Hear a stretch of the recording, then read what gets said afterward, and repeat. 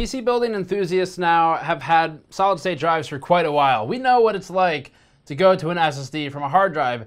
It's nearly a requirement in a modern build, aside from the cheapest of the cheap. Our brethren over in the console camp sadly don't know what it's like. They have to go buy a separate solid state drive, throw it into an enclosure, or open the thing up and install it. And it's just, it's it makes me so sad that I nearly want to open a charity to distribute SSDs for them. But what we're going to do instead is test the boot times and other game launch and load times between an SSD externally and an internal hard drive because that alone is massive. We're not even talking about opening the thing. This is something so simple that anyone pretty much could do it.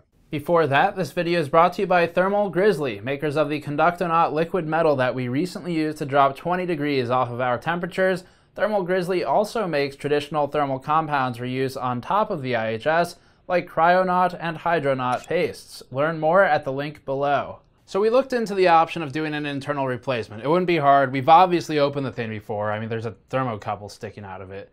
Doesn't come like that. So it's not too difficult to open it. We have a whole video on opening the Xbox One X. And the, the thing is that you do have to do some work with cloning the drive because Microsoft does not officially support an internal drive replacement. In fact, they still have some types of copy protection on it that make it a little bit annoying to properly clone the drives.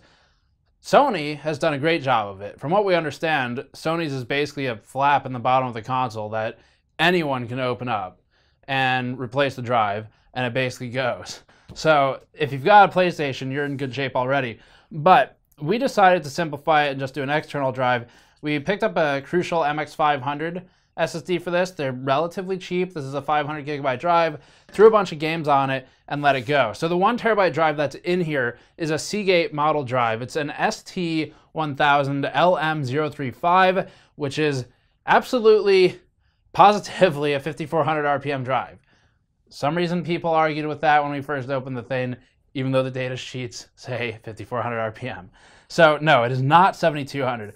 And even with the datasheet suggesting a 140 megabyte per second peak transfer rate, we're talking a hard drive here. It's a physical spinning disk. It has to seek to find the data, and bursted speeds are not the same as sustained speeds. And even more important, hard drives are particularly bad at random operations, 4K IOPS, things like that. So that's where an SSD excels. And either way, the hard drive internally is not bottlenecking on the SATA 3 interface that the Xbox uses. And this is where I want to talk to the console users who may not know who we are for a moment. Everyone else in the PC audience, I'm sure you know the difference between the rated speed of an interface and the speed of a device.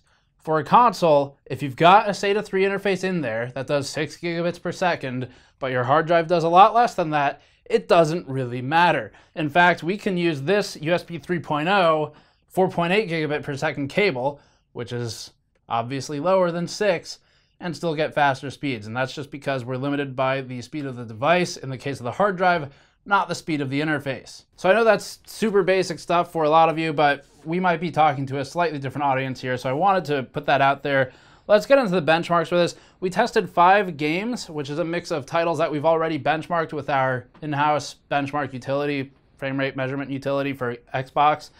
And uh, we also included one game that we might test in the future. Launch times were measured from the time that the game was selected to the first on-screen prompt. So that would be like press A to start, for example. And we have more details in the test methodology section in the article linked in the description below if you want to know precisely when we started and stopped our measurement procedure.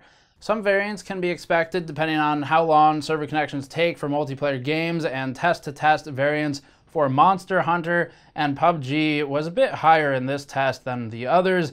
On the other hand, Destiny 2's launch times were extremely reliable and the SSD shaved off nearly 19 seconds or 33.7% reduction. Four of the games we tested had save files that could be loaded, and all of them benefited from an SSD. For the Destiny 2 campaign test, we used a character that had partly completed the first mission of the campaign so that they would load directly into gameplay.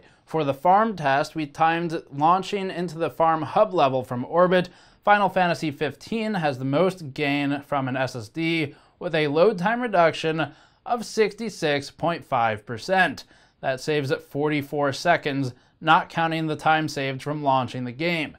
Final Fantasy XV load times are notoriously bad, and this doesn't bode well for PC players that don't have 100 plus gigabytes to spare on their SSDs, when that comes out later anyway. PUBG doesn't have a save file to load, but it does have something we've complained about in the past, obnoxiously slow texture pop-in. The easiest place to measure this is in the main menu, but our avatar's 3 second transformation from oily hot dog man to fully textured human wasn't improved enough to be reliably measured. It was reliably bad though. The time from the end of the previous test period to the final texture pop, called menu load in the chart, was reduced by a few seconds, but most of the time saving happens before the character appears on screen.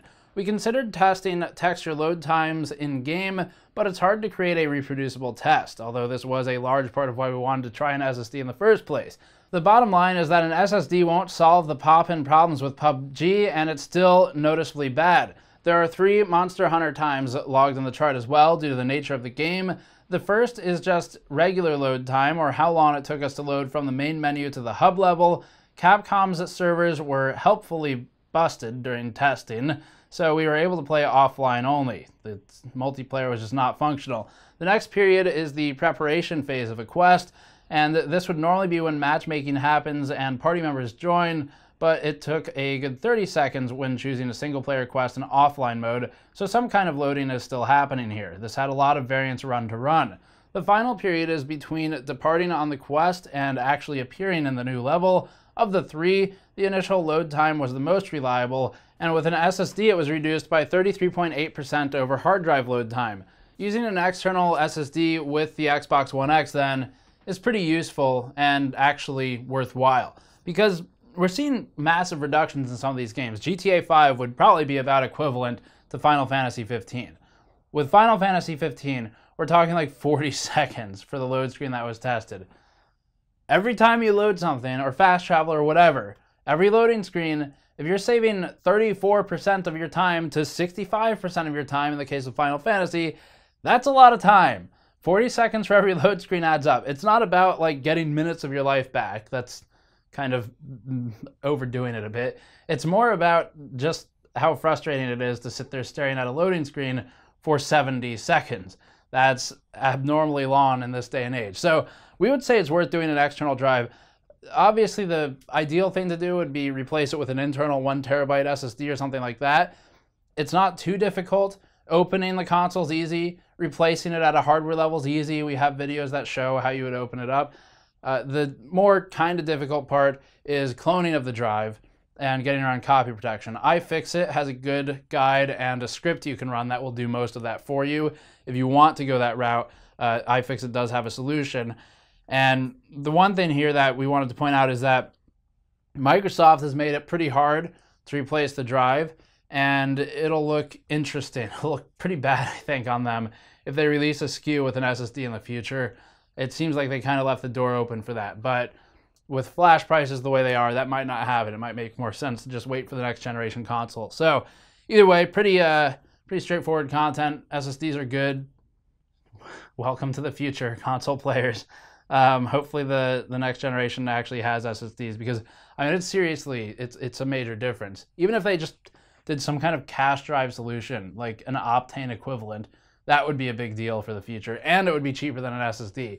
So we'll see. These were in development for a long time before the new cache drives started coming out. So uh, anyway, that's the that's the content for this one. Subscribe for more. You can check our Xbox benchmarks on the channel if you're interested, or all the PC stuff. Obviously, go to Patreon.com/slash GamersNexus to help us out directly, or store.gamersnexus.net to pick up a shirt like this one, or one of our sweet stickers that we stuck on the Xbox, and it hasn't even melted off yet. So it's actually it's a pretty good uh, test case. Thanks for watching. I'll see you all next time.